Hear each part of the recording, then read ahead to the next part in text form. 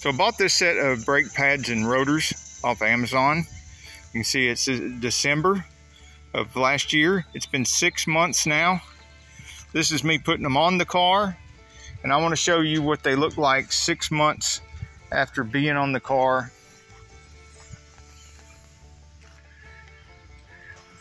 Now I drive four hours a day, five days a week. That's 160 miles a day.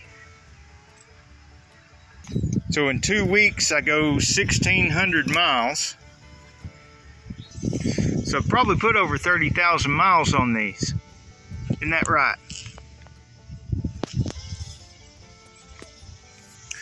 And they still look this good. So they've got some longevity.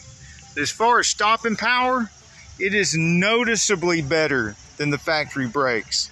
As a matter of fact, it saved my life at least a couple of times when people suddenly made left turns right in front of me and I would have plowed right into them if I hadn't had that extra stopping power.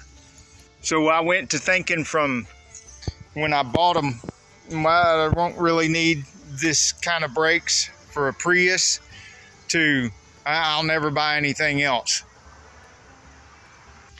So, and that's all I got to say about that.